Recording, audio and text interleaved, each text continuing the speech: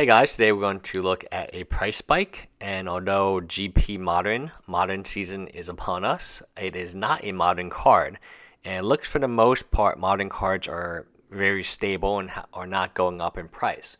But the card we're going to look at today is Apocalypse. Apocalypse is a amazing card, uh, really fun in EDH and I didn't know about this until I looked it up recently. It's on the reserve list. So it went up from three dollars or two ninety five all the way up to seven ninety nine, which is almost a triple up in price. Uh, it's definitely one of those cards that uh, you see in EDH quite a bit. Uh, really fun to play with, and I just didn't never knew I was on a reserve list, so I always felt like it could be reprinted in a commander deck, and then hence why it was like two dollars for a long time. But uh, one of the things that you have to look at very closely nowadays is whether or not it is on the reserve list. And if it is, does it see play in the format?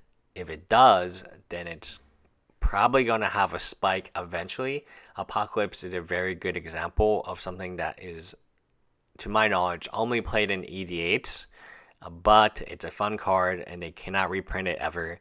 So if you were ever to pick up copies of this card right now, it's spiked, so don't pick up copies right now. Wait for it to go down a little bit.